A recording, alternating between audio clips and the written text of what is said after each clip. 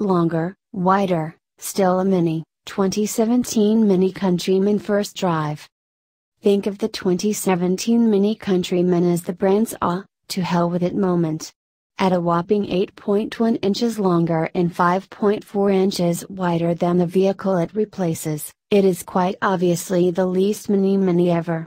Yet, that size increase makes it more useful, comfortable riding, and better proportioned. If a compact crossover SUV is what's to be, then this is the size it should be. However, it's still quite mini for a compact SUV, coming in at 3 inches shorter than the Mercedes-Benz GLA class and 4 inches shorter than an Audi Q3. Neither of those are what anyone would describe as large. And yet, the Countryman boasts a considerably more spacious and usable interior than either of them.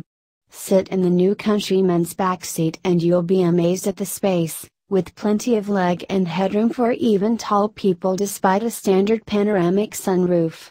Crossovers of similar exterior dimensions, luxury or otherwise, just don't come close to providing as much passenger space. The cargo area isn't quite as impressive on paper, but its boxy shape and the sliding second row seat make it far more versatile in practice. So, despite being the least mini mini ever, the new Countryman is still in keeping with the brand's ethos from the very beginning when Alec Issigonis created a car that was microscopic on the outside but disproportionately spacious inside. There's far more to this redesign than just dimensional changes, the 2017 Countryman grows up figuratively as well. The original model always felt like a Mini Cooper hardtop that ballooned in size and door count.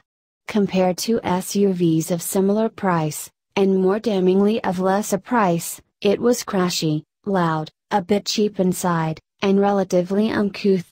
The base model was also embarrassingly slow, the new version feels more like a proper compact luxury SUV flavored with a robust salt bite of mini spice.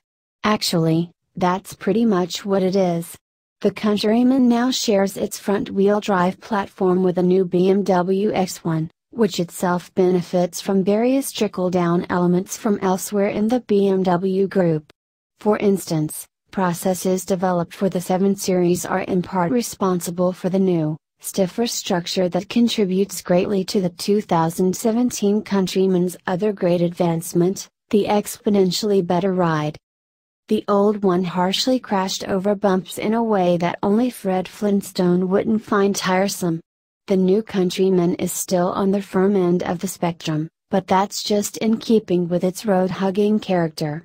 Importantly, the impact harshness is now gone and there's a nicely damped tri very much in keeping with its BMW roots. Not only is the suspension more sophisticated than before, the geometry is shared with the X1, the tuning is not, but crucially, the 18 inch wheels are now shod in higher profile rubber. You can also get non run flat tires and a compact spare to smooth things out further. Yeah.